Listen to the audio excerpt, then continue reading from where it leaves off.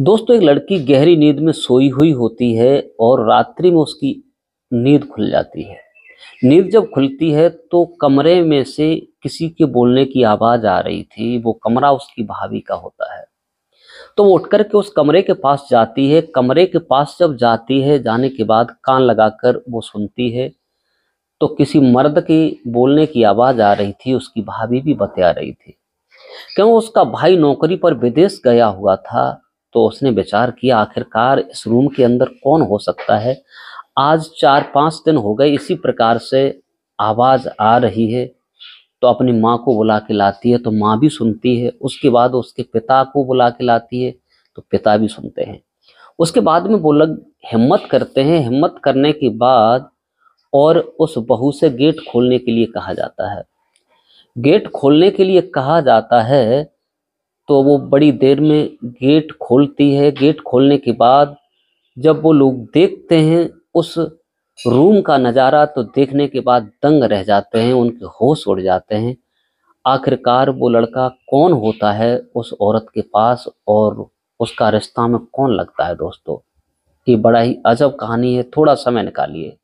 नमस्कार, प्रणाम। मैं हूँ प्रेम यादव। ये जो कहानी तो मैं सुनाने जा रहा हूँ।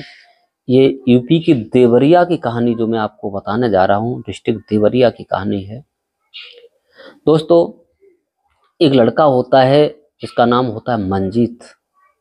मंजीत का विवाह पड़ोस में ये गाँव होता है, सोहर, वहाँ की कविता नाम की लड़की से ब्याह हो जाता है।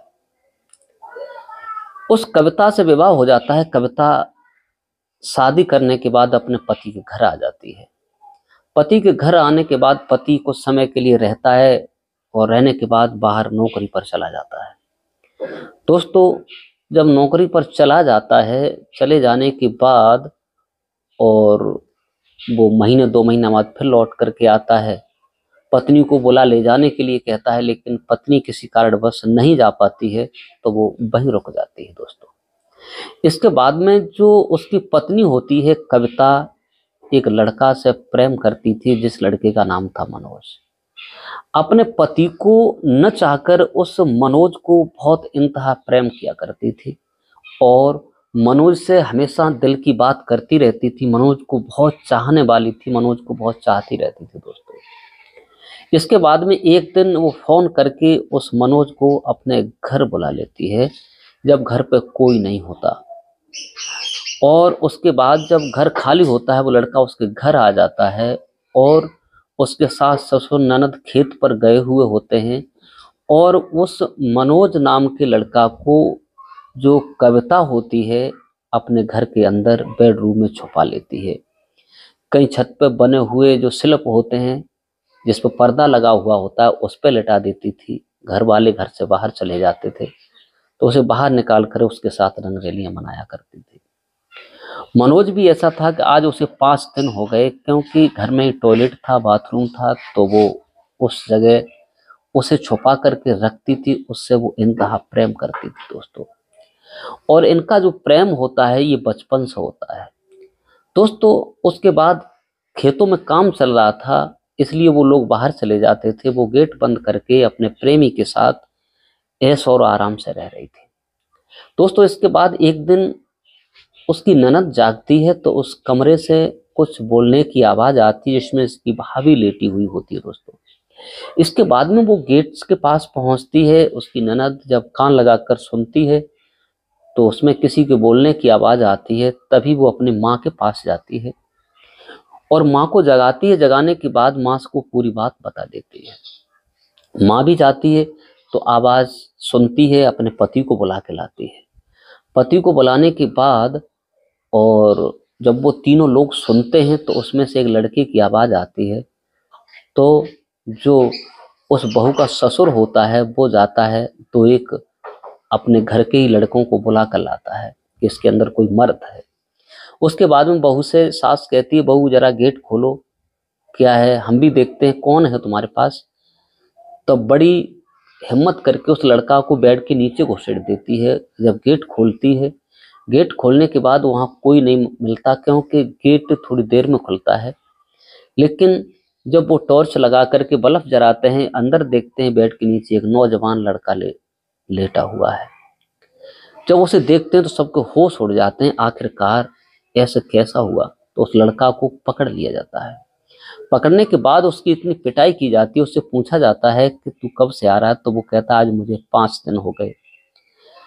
मुझे पाँच दिन हो गए इन्होंने फ़ोन करके बुलाया था, मैं इसी जगह रह रहा हूँ और मुझे इस जगह छुपा दिया जाता है, मेरा कोई कसूर नहीं है। तो उसे लोग कहते हैं, तेरा कसूर क्यों नहीं? कसूर तो यही है कि तूने किसी को बताया क्यों नहीं? दूसरे के घर में तेरी इतनी बड़ी हिम्मत, जो तू आकर के इनके घर में छुप गया। दोस्तों मार पीट जब की जाती है तो वो रोने लगता है, गिड़गिड़ाने लगता है, कहता है, प्लीज़ मुझे माफ़ कर दो। आज के अलावा ऐसा नहीं हो सकता। जब बहू को पूछा जाता है तो बहू साफ़ इनकार कर देती है कि मैं तुम्हारे पति मंजीत को नहीं चाहकर और इस लड़की को चाहती दोस्तों, इसके बाद में पुलिस को फ़ोन किया जाता है। पुलिस को फ़ोन किया जाता है, पुलिस मौके पर पहुँच जाती है। पहुँचने के बाद और दोनों का बयान लिया जाता है। सबके सामने खड़ा किया जाता है, लेकिन वो औरत को पूछा जाता है तो वो लड़की कविता कहती है कि मेरा बचपन से प्यार चल रहा है, लगभग सात साल हो गए, मैं इसे दिल और जान से चाहती हूँ। मेरी शादी तो मेरी बगैर मर्ज़ी के यहाँ पर हुई है, लेकिन मैं इस लड़के से प्रेम करती हूँ और करती रहूँगी। जी जान से मैं इसी के साथ रहना चाहती हूँ। दोस्तों, इसके बाद जब लड़की को पूछा जाता है तो लड़का कहता है कि जो उनकी मर्ज़ी है, जो वो कह रही है, वही मेरी मर्ज़ी है। उसके बाद में उसके पति को फ़ोन लगाया जाता है तो वो लड़का कहता है कि ठीक है, मैं जल्दी ही दो दिन के अंदर यहाँ आ जाऊँगा। लड़की के मैके वालों को बुलाया जाता है, लेकिन मैके वाले जो होते हैं, कहते हैं कि अगर ये नहीं मानती है तो क्या किया जाए? ऐसा मत करो, क्योंकि लड़का दूसरी बिरादरी का था, लेकिन कहते हैं कि प्यार होता है तो ऐसा होता है। उसका पति भी आकर उसे समझाने लगता है, लेकिन कविता बिल्कुल नहीं मानती है। उन दोनों को इतना मारा पीटा जाता है, लेकिन एक दूसरे की जेट भर लेते हैं। ना ही तो लड़की उस बात को पलटती है, ना ही वो लड़का उस बात को पलटता है। उसके बाद में थाने में जाकर के दोनों का फैसला होता है।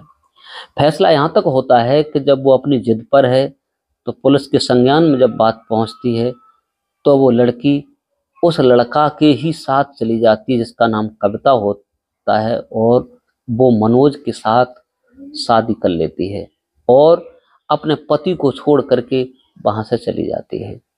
जाने के बाद दोस्तों, जब वो लड़का ले जाता है, दूर चला जाता है, चले जाने के बाद उधर वही लड़की जो होती है, उस लड़का से मोहब्बत करती थी, लेकिन उस लड़के का अकस्मात एक्सीडेंट हो जाता है और वो लड़का ख़त्म हो जाता है। जब वो लड़का ख़त्म हो जाता है तो वो कहीं की नहीं रहती, क्योंकि उसने ना ही तो माँ की बात मानी, ना ही अपने ससुराल वालों की बात मानी, ना ही किसी की बात मानी।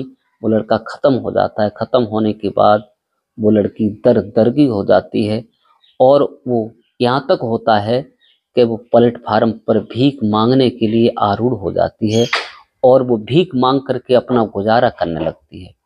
इसके बाद में दोस्तों कहानी यहाँ तक होती है कि कहते हैं कि जो किसी की नहीं मानता है, अंत में दर दर की ठोकर खाता है। आज वो लड़की इधर उधर भटकने लगती है। उसकी कोई बात सुनने वाला नहीं होता है, क्योंकि ना ही तो उसके पति की बात मानी थी, ना ही सास ससुर की बात मानी थी, ना ही अपने घर वालों की बात मानी थी। उसका नतीजा उसे भुगतने को मिला दोस्तों। इसके बाद में उसका जब कोई चारा नहीं चलता तो एक साध्वी बन करके और अपनी ज़िंदगी को यापन करने लगती है।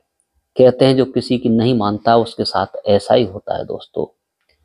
ये कहानी हमारी कैसी लगी कमेंट करके अवश्य बताइए। क्या इन लोगों ने सही किया सो उसे छोड़ दिया और उसे जाने दिया और अपनी इज़्ज़त को बचाया? क्योंकि इस कहानी को सुनाकर किसी को परेशान करना नहीं है, किसी को दिल दुखाना नहीं है, क्योंकि तुम्हारे घर में अगर बहन बेटी है तो उस पर निगरानी रखिए, उसके चाल चलन को परखिए, क्योंकि तुम्हारे नाम पर धब्बा ना लगा दे, क्योंकि आजकल ऐसा ही ज़्यादा देखने में आ रहा है कि कुछ लोग करते हैं, कुछ होता है, कुछ पता ही नहीं चलता कि कहाँ क्या हो जाता है।